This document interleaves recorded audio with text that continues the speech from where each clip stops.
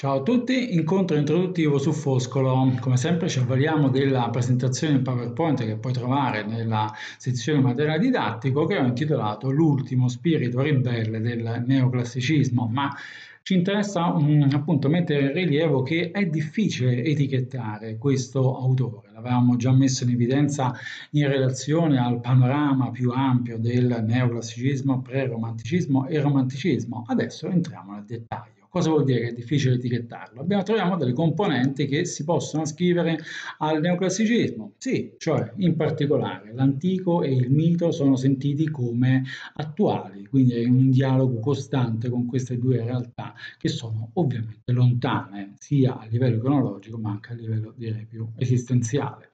Come ancora, le forme predilette sono quelle classiche, forme sotto tutti i punti di vista, la cura formale in generale delle opere di Foscolo vedremo è estremamente, estremamente elevata e questo possiamo dire che è una caratteristica propria della nostra letteratura in generale, la letteratura italiana eh, avrà sempre questa caratteristica, una forse forse per questa componente ovviamente fortemente classica che ha alle sue radici. E ancora la poesia e la bellezza, questo è un concetto al quale arriveremo proprio oggi leggendo le odi, la bellezza e la poesia eh, rendono eterne le azioni degli uomini, la bellezza delle donne, in generale le gesta importanti degli esseri umani. E questo è di gusto neoclassico, basti pensare a Orazio, ex egi monumento maere perennius, dice a un certo punto, per cui è un, è un, sicuramente anche questo è ascrivibile alla componente classica della nostra letteratura. Perché no, anche il sensismo illuminista, che vedremo così operativo in alcuni sonetti e sicuramente nei sepolcri, è ascrivibile in senso lato, in senso ampio, al neoclassicismo.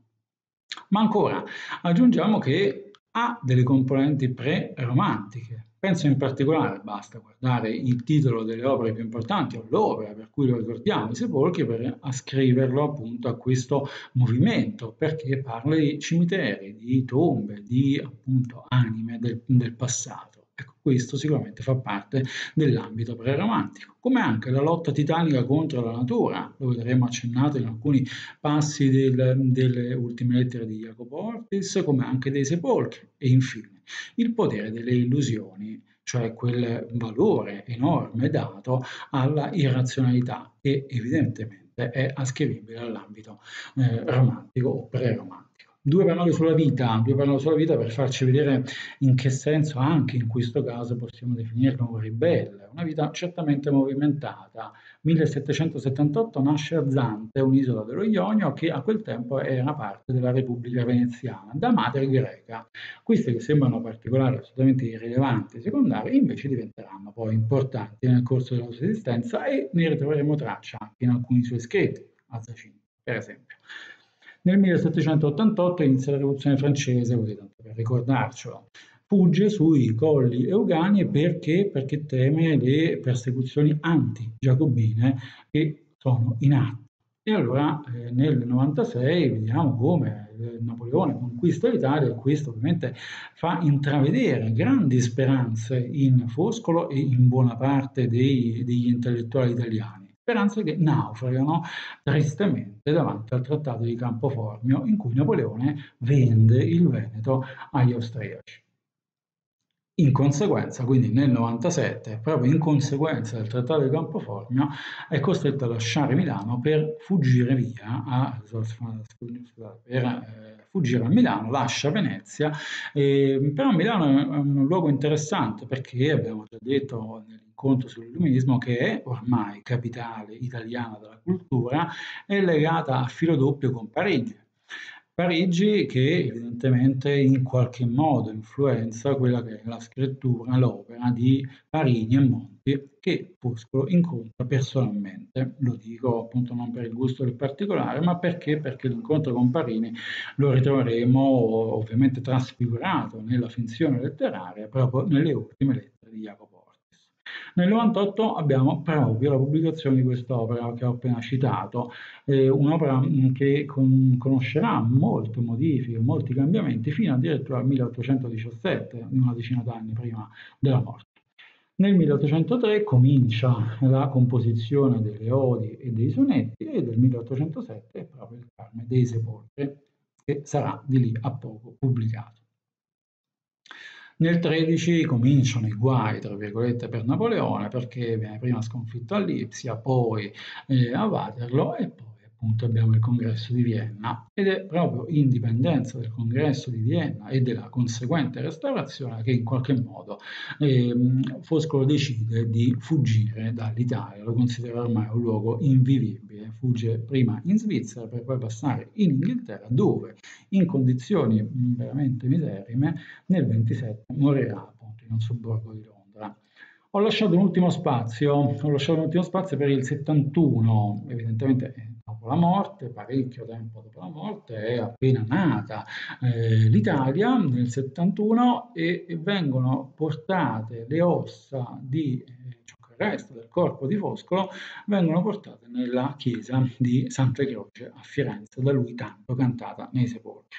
Quindi un'esistenza piuttosto travagliata, appunto in dialogo costante con la politica, in dialogo costante con i, alcuni degli autori più importanti dell'epoca. Ma entriamo appunto nel dettaglio dell'opera, cioè secondo la eh, critica testuale individuiamo, questo vale per tutti gli autori, lo vediamo nel dettaglio di Foscolo, per tutti gli autori, per ciascun autore si può individuare un macro testo, cioè il capolavoro verso il quale in qualche modo, poi vedremo nel dettaglio quale, eh, le altre opere, le cosiddette opere minori, ma non perché sono di minor pregio, ma perché appunto concorrono in qualche modo a questa che è l'opera che normalmente si posiziona eh, appunto quasi in conclusione della vita, nel caso di Foscolo più o meno abbiamo visto 1807, stiamo ovviamente parlando di sepolcri. A questo macrotesto confluiscono eh, appunto altri microtesti, 1, 2, 3, 5, no? eh, ovviamente sono diverse le possibilità teoriche. Allora, questo schema come si applica alla produzione letteraria di Foscolo? Ho mantenuto gli stessi colori, più o meno eh, ben accostati, ma insomma, vediamo, ai sepolcri appunto confluiscono i sonetti, l'ortis e infine le lodi. Ah, questo è lo schema di base che terremo durante la spiegazione eh, di Fosco e conviene tenerlo a mente perché evidentemente ciascuno, poi ci sarà una slide riassuntiva su questo, però ciascuno di queste opere apporterà qualcosa che poi ritroveremo o confermato o al contrario invece eh, cancellato nei sepolcri stessi. Allora, entriamo nel dettaglio delle odi. Oggi appunto la lezione verte essenzialmente sulle odi. Le odi sono tre, e ne par parleremo essenzialmente di una. A Luigi Pallavicini, Caduta da cavallo, trovi a pagina 612 e seguenti la sintesi, il testo, eccetera, eccetera. Rimando ovviamente al libro per qualsiasi tipo di approfondimento. Vediamo brevemente qualche cosa era questa Luigia Pallavicini, una nobile genovese che, mm, nel caso volle che appunto eh, durante una, una partita di caccia cadde è caduta da cavallo, appunto riporta ferite deturpanti al volto, quindi quella donna nobile, bella che era prima è ormai diventata altro e ovviamente l'incidente fece scalpore nella eh, Genova bene dell'epoca. Evidentemente mh, colpì anche lo stesso Foscolo che ne approfitta per parlare come sempre della bellezza, della bellezza che è praticamente il tema delle odi. Eh, ho presentato qui un riassunto in prosa, te lo lascio da leggere, lo potrai leggere con calma anche durante la, eh, quando studierai la, questa presentazione in PowerPoint. Non mi sembra così eh, importante adesso fermarsi, appunto. Comunque c'è tanto per dire, appunto, oltre al concetto della bellezza, c'è l'idea appunto del classico, ehm, c'è una, un accostamento fra questa Luigi Pallavicini e Pallade, eh, ci sono, c'è un riferimento alle arti virili di Marte, eh, perché lei appunto è andata a cavallo seguendo le eh, arti virili di Marte anziché quelle delle muse? Questo addirittura, ma Nettuno risospinge il cavallo che cerca di entrare nel mare, cioè nel regno di Nettuno. Ecco, per dire che cosa, ancora una volta, quello che ci siamo detti nella seconda slide, cioè che la componente classica nella poesia italiana, in particolare nella poesia foscoliana, è fortissima. Mm? È fortissima.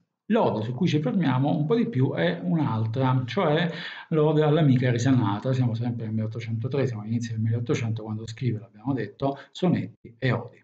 Di che parla? Antonietta Fagnani Arese, una conoscente amata, dicono, dice il gossip dell'epoca, eh, amata dal poeta, reduce da una grave malattia, torna in società più lieta e più bella. Allora, ovviamente Foscolo ne approfitta, guarda caso, per parlare della bellezza, delle caratteristiche della bellezza, ma anche della poesia. Anche in questo caso ti, ti lascio qui da leggere con calma il riassunto della, in prosa del, dell'intera ode, che è divisa chiaramente in due parti. Ehm, Ancora una volta insisto sulla componente fortissimamente classica, intervengono, quando diciamo il dialogo con l'antico, ecco, intervengono proprio in questa ode, ma intervengono a volte sembra fisicamente, intervengono divinità del mondo classico, ci sono riferimenti alle divinità o al mondo classico, al mondo mitologico in generale, e però si vede che non è questo effettivamente l'oggetto primario della, eh, della, composizione. L'oggetto primario è proprio la riflessione sulla bellezza. E allora io ti, ti invito a leggere alcuni brani, non tutta perché è un'opera difficile, complessa e anche non brevissima. E allora vediamo, seguiamo appunto il libro, sono i primi versi, i primi 12 versi, no? eh, anche in questo caso, come abbiamo visto nell'incontro con Parini, ti lascio a fianco la parafrasi perché è un testo complicato complicato. È un testo complicato che merita sicuramente di essere letto e anche di essere apprezzato, perché no, scrivere in questo modo decisamente serve arte, eh? serve l'arte nel senso più ampio e bello del termine, però forse per noi appunto anche dalla nostra sensibilità eh, non è così proprio comprensibile, non è immediatamente intuibile il contenuto. E allora ti ho lasciato sulla colonna di destra la parafrasi più o meno precisa, la trovi anche sul libro, eh, ma insomma ecco, c'è un confronto, appunto, guarda caso, come dagli abissi marini appare la stella cara a Venere, ecco così le tue, rivolto alla amica risanata, appunto alla Fagnani, le tue divine membra sorgono dal letto c'è un qualche cosa di arcadico, c'è un qualche cosa di pariniano dietro, no? Perché appunto il, il giovin signore che sorge dal letto, no? Ecco questa donna che risorge dopo la malattia dal letto, ecco, in te torna, e questi sono i, i versi su cui vorrei si concentrasse la tua attenzione, ecco, in te torna, se riferito sempre all'amica, ritorna a vivere la bellezza, beltà rivive, laurea beltade, quella bellezza, eh, in bellezza d'oro, onde ebbero ristoro unico ai mali, le nate a vaneggiare menti mortali, cioè quella bellezza dalla quale le menti dei mortali, destinate per natura a illudersi, vaneggiare, è eh, un verbo pesante nella letteratura italiana, sempre vanamente ebbero l'unico conforto ai loro mali. Allora, piccolo, piccolo, um, piccolo, messaggio, piccolo messaggio da cogliere subito è che appunto la bellezza risulta essere unico ristoro ai mari, ha un, un potere consolatorio sugli animi umani che normalmente si perdono appresso a vane passioni. Dobbiamo mettere un bollino? Mettiamo un bollino. Questo è un gusto neoclassico, è un accenno di gusto mm, squisitamente neoclassico, quindi se proprio dobbiamo mettere, ripeto, un bollino e un'operazione assolutamente assurda nei confronti della poesia, però se dobbiamo sezionare e catalogare i, i brani di questa ode, certamente questo è ascrivibile al neoclassicismo. Ma andiamo avanti, nella seconda parte della poesia il, um, il, discorso si fa un po' più filosofico, anche nell'analisi del testo del nostro libro troverai citato in questo modo.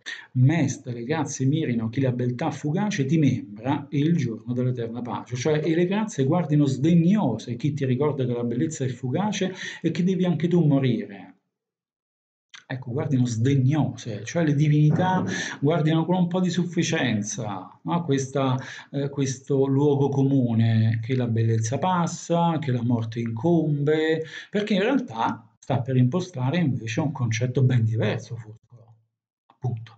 Vediamo come va a finire. Come sempre, riporta, mette in mezzo delle divinità eh, classiche. In questo caso Artemide, con una scrittura veramente complicata, Foscolo ci suggerisce che, vado un po' sintetizzando il contenuto di queste strofe, che poi, ripeto, puoi leggere nel testo originale a sinistra, nella parafrasi a destra, eh, va a dire che alcune donne capaci, importanti, ma donne mortali, eh? qua vediamo proprio scritto qui, eh, mortale guidatrice di oceanine vergini, ecco Artemide, Diana, no?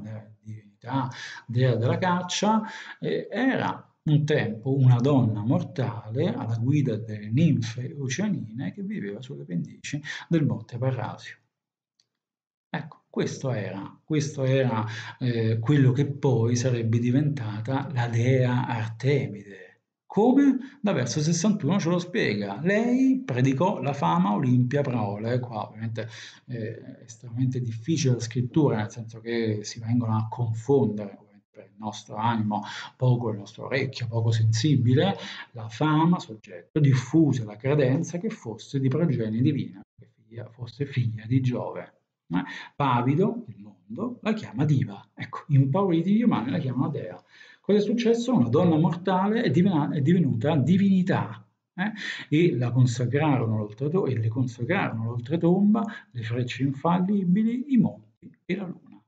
Ecco, questa è poi nella mitologia classica Artemide. Primo esempio.